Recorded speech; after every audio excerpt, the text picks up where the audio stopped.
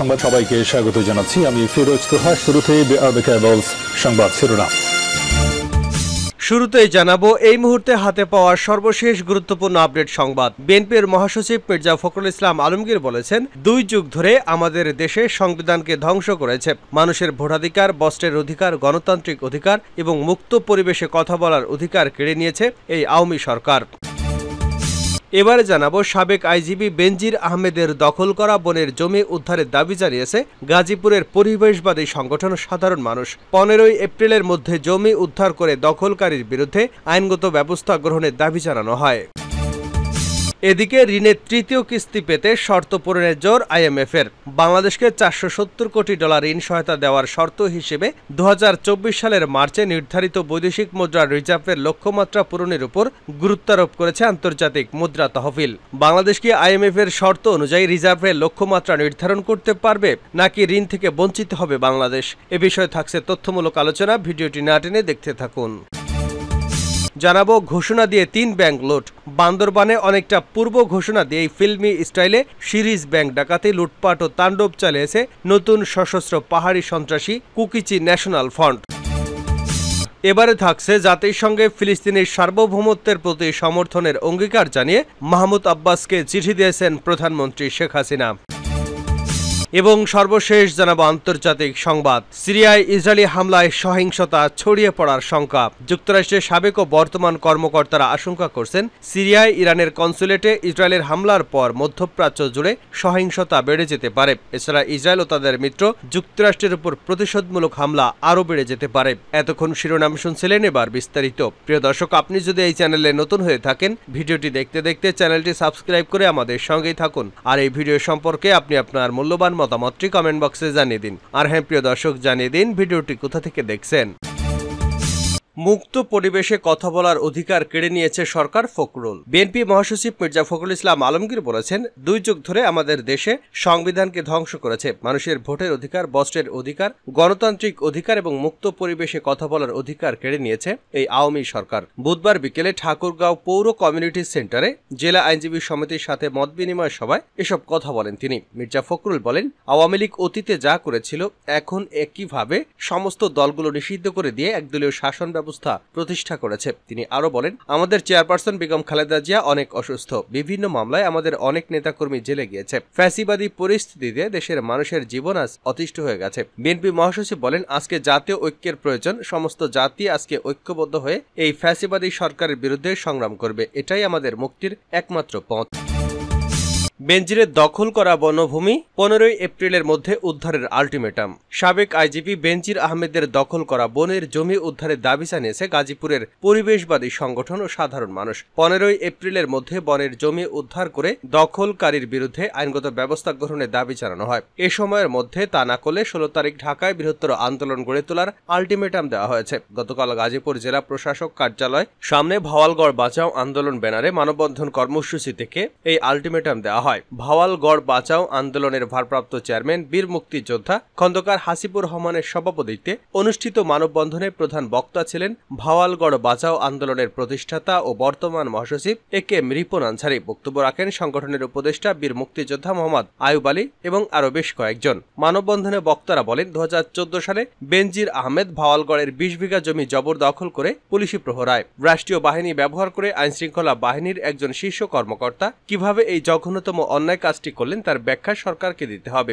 একই সঙ্গে বন বিভাগ জবরদখলকৃত বনভূমি উদ্ধার এবং দায়ীদের বিরুদ্ধে কি কি ব্যবস্থা নিয়েছে তাও জানাতে হবে। বক্তারা মহান মুক্তিযুদ্ধের চেতনায় স্মৃতি বিজড়িত ভাওয়ালগড়, একজন সরকারি কর্মচারী, সরকারি বাহিনী ব্যবহার করে কীভাবে জবরদখল করলেন তা নিয়ে বিস্ময় প্রকাশ করেন। সঙ্গে সঙ্গে সরকারি কর্মচারীদের আয় ব্যয়ের চিত্র তুলে ধরতে বলা হয়। এমন সরকারি কর্মচারীও আছে যে মেয়ের বিয়ে দিতে ব্যাংক থেকে ঋণ নিতে হয়, আর বেনজির আহমেদ তার মেয়ের ত্রিশ মিনিটের বিশ্রামের জন্য সাড়ে তিন কোটি টাকা টাকার অভিজাত ফ্ল্যাট কিনেছেন। সমাজে এমন বৈষম্য খুবই লজ্জার। সাংবাদিকদের হুমকি ধামকির বিষয়ে হুঁশিয়ারি উচ্চারণ করে মানববন্ধনে বলা হয়, সত্য খবর দিলেও যদি সাংবাদিকদের হয়রানি করা হয়, তবে ভাওয়ালগড় বাঁচাও আন্দোলন সবার জন্য রাজপথে থাকবে। ঋণের তৃতীয় কিস্তি পেতে শর্ত পূরণের জোর আইএমএফ এর বাংলাদেশকে চারশো সত্তর কোটি ডলার ঋণ সহায়তা দেওয়ার শর্ত হিসেবে দু হাজার চব্বিশ সালের মার্চে নির্ধারিত বৈদেশিক মুদ্রা রিজার্ভের লক্ষ্যমাত্রা পূরণের উপর গুরুত্বারোপ করেছে আন্তর্জাতিক মুদ্রা তহবিল আইএমএফ। বুধবার তেসরা এপ্রিল বাংলাদেশ ব্যাংকের কর্মকর্তাদের সাথে বৈঠকে বৈশ্বিক ঋণদাতা সংস্থাটি তাদের অবস্থান তুলে ধরে। ঋণের তৃতীয় কিস্তির চারশো সত্তর কোটি ডলার দেওয়ার আগে আর্থিক পরিস্থিতি মূল্যায়নের জন্য বাংলাদেশ সফর করছে আইএমএফ প্রতিনিধি দল। আইএমএফ এর ঋণের শর্ত অনুযায়ী দু হাজার চব্বিশ সালের মার্চে এক হাজার নয়শো ছাব্বিশ কোটি ডলার রিজার্ভ থাকার লক্ষ্যমাত্রা নির্ধারণ করা হয়। কিন্তু প্রকৃত রিজার্ভ ষোলো হাজার বিলিয়ন ডলারের নিচে চলে গেছে। কেন্দ্রীয় ব্যাংকের একজন কর্মকর্তা বলেন, শর্ত পূরণেই আইএমএফ কিছুটা কঠোর হওয়ায় সংস্থাটি ঋণের তৃতীয় কিস্তি নিয়ে জটিলতা ও অনিশ্চয়তা রয়েছে। জানা যায়, রিজার্ভ ঘাটতির কারণ হিসেবে বাংলাদেশ ব্যাংক কর্মকর্তারা বেশ কিছু ধারণা জানিয়েছেন। আইএমএফ শেষ পর্যন্ত এ বিষয়ে বাংলাদেশের অবস্থান সম্পর্কে ইতিবাচক হবে বলে আশা প্রকাশ করেন। তিনি। ডলার সংকট নিরসনে আইএমএফ এর সাথে চারশো সত্তর কোটি ডলারের ঋণ চুক্তি করে সরকার। ঋণের তৃতীয় কিস্তির ছাড়ের আগে আইএমএফ এর একটি পর্যালোচনা মিশন বাংলাদেশ সফর করছে। পলিসি রিসার্চ ইনস্টিটিউশন অব বাংলাদেশের নির্বাহী পরিচালক ডক্টর আহসান মনসুর ইউএনবি কে বলেন, আইএমএফ নিট রিজার্ভের প্রয়োজনীয়তা সহজ করলেও বাংলাদেশের পক্ষে মার্চের লক্ষ্যমাত্রা পূরণ করা কঠিন। তিনি বলেন, বৈদেশিক ঋণদাতা বাংলাদেশের জন্য নিট রিজার্ভের নতুন মাত্রা নির্ধারণ করতে পারে বা চার দশমিক সাত বিলিয়ন ডলার ঋণের তৃতীয় কিস্তি ছাড়ে বিলম্ব হতে পারে ঘোষণা দিয়ে তিন ব্যাংক লুট। বান্দরবানে অনেকটা পূর্ব ঘোষণা দিয়েই ফিল্মি স্টাইলে সিরিজ ব্যাংক ডাকাতে। লুটপাট ও তাণ্ডব চালিয়েছে নতুন সশস্ত্র পাহাড়ি সন্ত্রাসী গোষ্ঠী কুকিচি ন্যাশনাল ফ্রন্ট। চব্বিশ ঘন্টায় রুমা ও থানচি উপজেলায় সোনালী ব্যাংকের দুটি ও কৃষি ব্যাংকের একটি শাখায় হামলা এবং লুটপাট চালায় পাহাড়ি সন্ত্রাসীরা। সোনালী ব্যাংকের রুমা শাখার ভল্টের চাবি না দেওয়ায় শাখা ব্যবস্থাপক নিজামুদ্দিনকে অপহরণ করে নিয়ে গেছে তারা। ব্যাংকের তিনটি শাখা থেকে নিরাপত্তা রক্ষীদের চোদ্দটি অস্ত্র, সতেরো লক্ষাধিক টাকা লুট করেছে, মারধর করেছে পাশের মসজিদের মুসল্লিদেরও। তাণ্ডব চালিয়েছে আশপাশের দোকানেও। লুটপাটের পর ফাঁকা গুলি ছুড়ে চাঁদের গাড়িতে করে পালিয়ে যায় তারা। এ ঘটনার পর নিরাপত্তাজনিত কারণে বান্দরবানের সোনালী ব্যাংকের সব শাখার লেনদেন বন্ধ ঘোষণা করা হয়েছে। সদর ছাড়া আজ বৃহস্পতিবারও বান্দরবানের সোনালী ব্যাংকের সব শাখার লেনদেন বন্ধ থাকবে। এদিকে রুমা শাখা, সোনালী ব্যাংকের ভল্টে থাকা এক কোটি উনষাট লাখ ছাব্বিশ হাজার টাকা অক্ষত অবস্থায় পাওয়া গেছে বলে জানিয়েছে সিআইডির কর্মকর্তারা।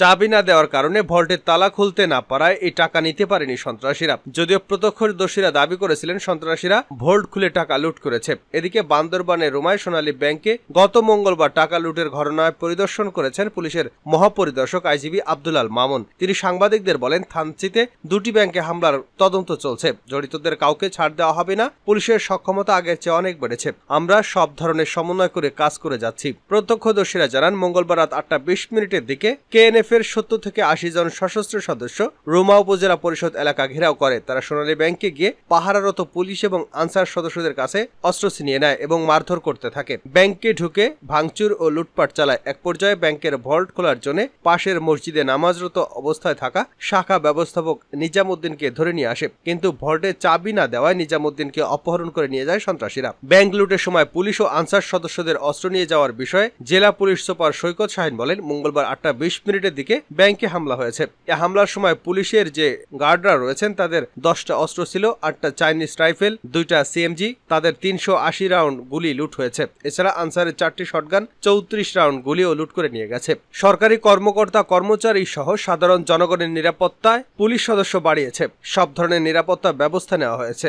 স্থানীয়রা জানিয়েছেন, উপজেলা পরিষদ মসজিদে নামাজে ছিলেন ব্যাংক ম্যানেজার। সেখানে উপজেলা প্রশাসনের অনেক কর্মকর্তাও ছিলেন। ফরজ নামাজ পড়ার পর সন্ত্রাসীরা মসজিদে প্রবেশ করে মুসল্লিদের মারধর শুরু করে। তারা টাকা এবং মোবাইল ছিনিয়ে নেয়। এক পর্যায়ে তারা ব্যাংক ম্যানেজারকে সেখান থেকে ধরে নিয়ে যায়। জানাব আন্তর্জাতিক সংবাদ। সিরিয়া ইসরায়েলি হামলায় সহিংসতা ছড়িয়ে পড়ার শঙ্কা। যুক্তরাষ্ট্রের সাবেক ও বর্তমান কর্মকর্তারা আশঙ্কা করছেন, সিরিয়ায় ইরানের কনসুলেটে ইসরায়েলের হামলার পর মধ্যপ্রাচ্য জুড়ে সহিংসতা বেড়ে যেতে পারে। এছাড়া ইসরায়েল এবং তাদের মিত্র যুক্তরাষ্ট্রের উপর প্রতিশোধমূলক হামলা বেড়ে যেতে পারে। গত সোমবারের ওই হামলার ইরানের কুচ ফোর্সের তিন জেনারেল ও চার কর্মকর্তা নিহত হন। এ ঘটনায় ইরানের ওই বাহিনীর জন্য বড় ধাক্কা। যুক্তরাষ্ট্রের গোয়েন্দা সংস্থা সিআইয়ের সাবেক কর্মকর্তা রালভ গফ ইসরায়েলের হামলাকে অবিশ্বাস্য বেপরোয়া বলে মন্তব্য করেছেন। এতে ইরান ও তাদের হয়ে সাহায্যকারীদের প্রক্সিদের মধ্যে উত্তেজনা বাড়িয়ে দেবে, যা ওই অঞ্চলে মার্কিন সেনাদের জন্য অত্যন্ত বিপজ্জনক হয়ে উঠতে পারে। তেহরানের প্রক্সিরা মার্কিন সেনাদের লক্ষ্য করে প্রতিশোধমূলক হামলা শুরু করতে পারে। সিরিয়ার রাজধানী দামেস্কে ওই হামলার পর ইতিমধ্যেই মার্কিন সেনাদের লক্ষ্য করে হামলা শুরু হয়ে গেছে। দেশটির দক্ষিণাঞ্চলে এমন একটি ড্রোন হামলা ঘটিয়েছে তারা তবে তা মার্কিন সেনাদের লক্ষ্য করে উৎক্ষেপণ করা হয়েছিল কিনা তা জানা যায়নি। মার্কিন প্রতিরক্ষা দপ্তরের এক কর্মকর্তা এ তথ্য জানিয়েছেন। নাম প্রকাশ না করে তিনি বলেন, যদি মার্কিন সেনাদের লক্ষ্য করে এ হামলা করা হয়, তবে তা দু মাসের মধ্যে ইরাক ও সিরিয়ার মার্কিন সেনাদের লক্ষ্য করে প্রথম কোনো হামলার ঘটনা হবে এটি। এ হামলায় ক্ষয়ক্ষতির কোনো তথ্য পাওয়া যায়নি। পেন্টাগনের পক্ষ থেকে বিষয়টি নিবিড়ভাবে পর্যবেক্ষণ করা হচ্ছে।